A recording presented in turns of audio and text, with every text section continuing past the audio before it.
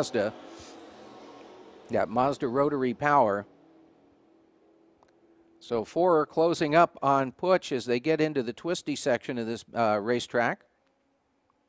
Through turns five and six and down the backstretch, once again, it looks like Casey Puch in the number 40 is able to put a bit of distance between himself and the 84 of Steve Forer.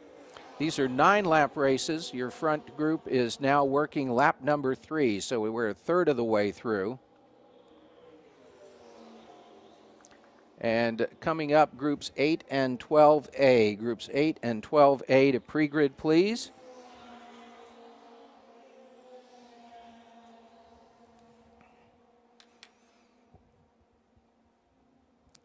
And Forer gets by the number 40 of Casey Puch. Puch back to third place. Forer now in second in class, in group. And these are the GTP3 cars.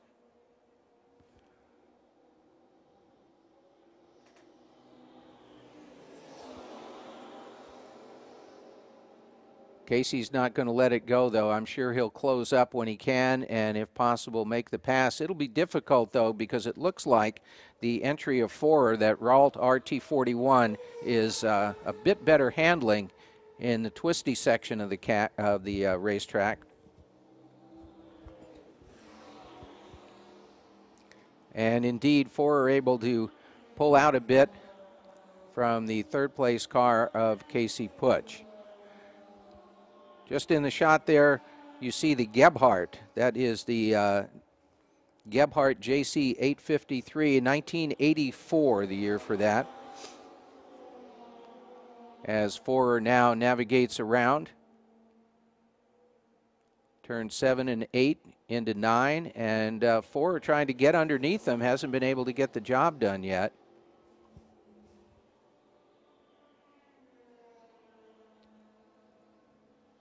Car number 10, Robert Stout. And we've got a spin.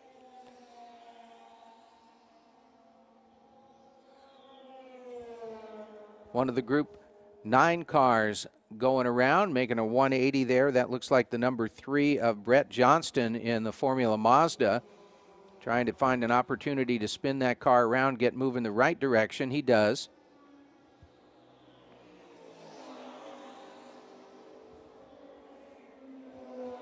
Car number 10, Robert Stout.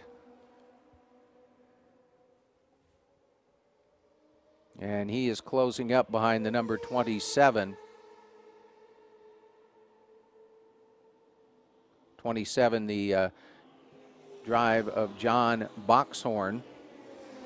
Boxhorn in a Lola T163.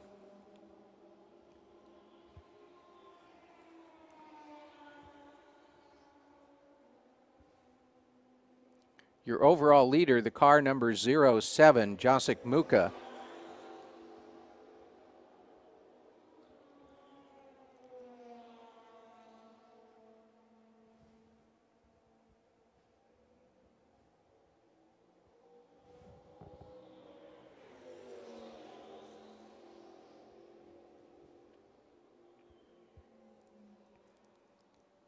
And we've got the uh, Group 9 cars just slotted in behind the number 27 of Boxhorn and now navigating around him as they go through turns 8 and 9.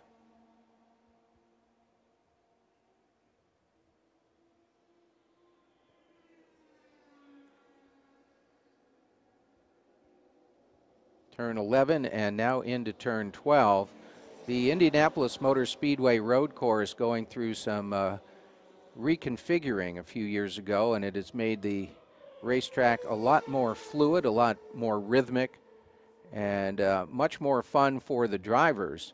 And it's also made the competition a lot closer.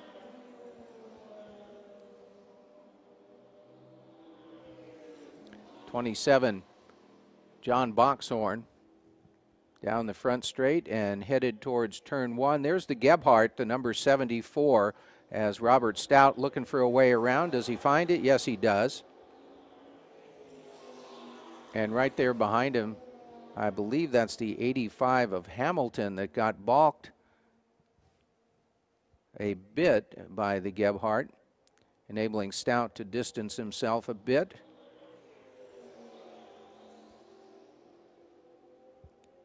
But eventually the pass was made, and uh, now that field closing up a little bit.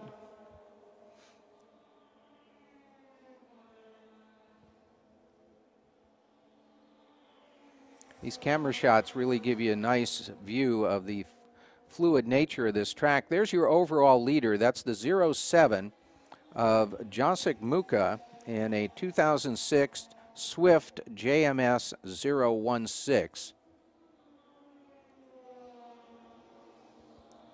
And Jacek really showing the way around here as he has a uh, sizable lead over second place.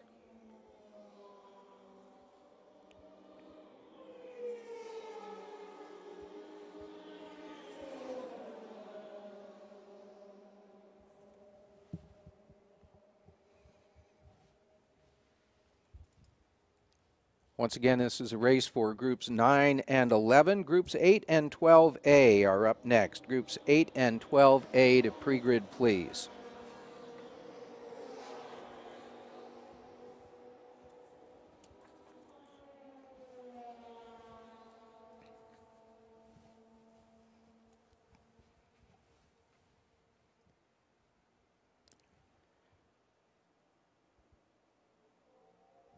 Want to thank our folks at uh, Indy West Harley Davidson for coming out here to Indianapolis Motor Speedway. Harley Davidson with a big presence in the paddock.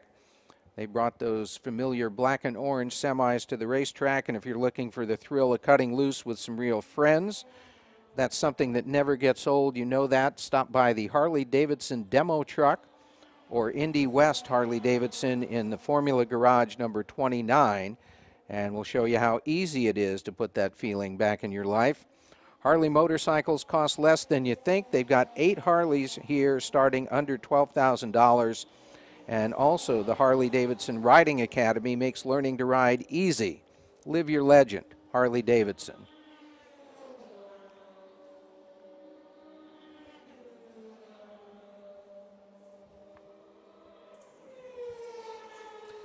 Not only are we celebrating four-wheeled vintage racing, but also vintage motorcycles. Vintage motorcycles coming out on course at about 11:30 this morning. Groups 8 and 12A to pre-grid. Your race is next, and that'll be followed by the second practice session for the Trans Am cars. The TA2 class will be coming out. As we see the number 10 of Robert Stout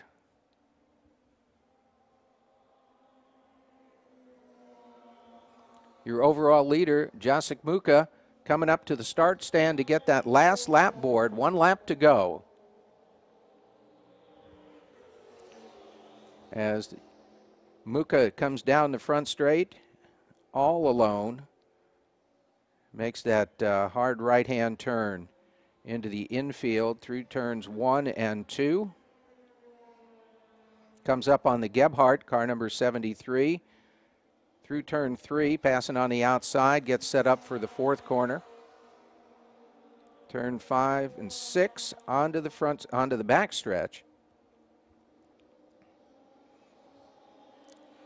Jacek Mucha making it look easy.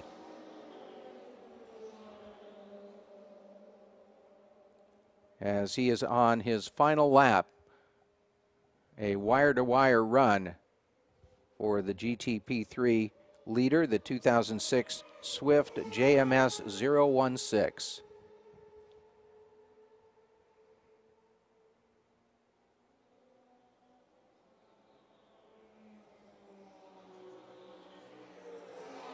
Utilizing a short section of the oval track there before coming into turns 12, 11 and 12 through 13 to 14. And turn 14, leading back onto the main stretch and the checkered flag. Checkered flag waves for your overall winner and winner of the GTP class here at Indianapolis Motor Speedway. SVRA, the Sports Car Vintage Racing Association. And the Brickyard Vintage Racing Invitational.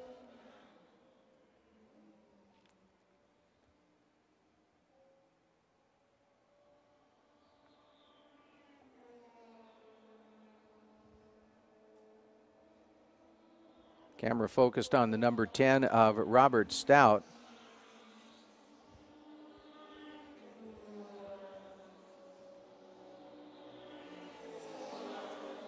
Stout's race is run. Same for the 85 of Bruce Hamilton.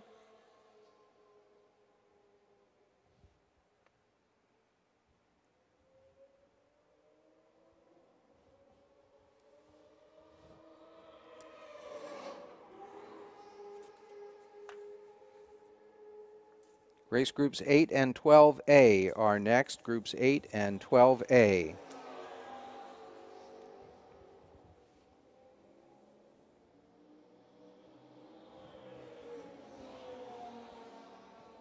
Jacek Mucha is still on that cool down lap.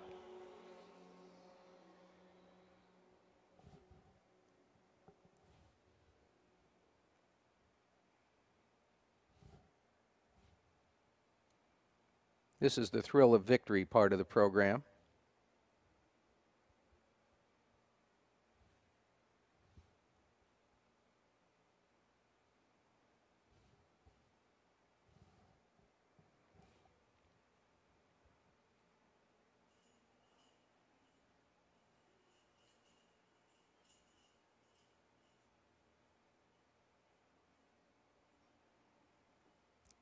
and navigating down the pit road towards Victory Circle.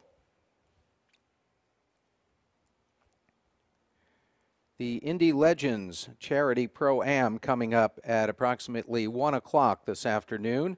It'll be preceded by the Pro Am Fan Walk, a chance for those of you here in attendance to get right down up close and personal with the drivers and the cars that'll be part of the field. 34 cars taking part in the 50 minute race. There'll be one mandatory pit stop. That'll be a changing of drivers as we have the amateur drivers each paired up with a Indy 500 starter from years past and also one Brickyard 400 winner, and that will be Bill Elliott.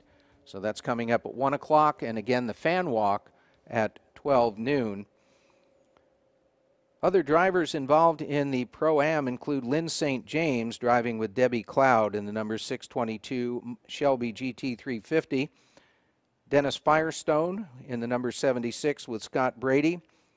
Dick Simon in car number 64 sharing the driving duties with James.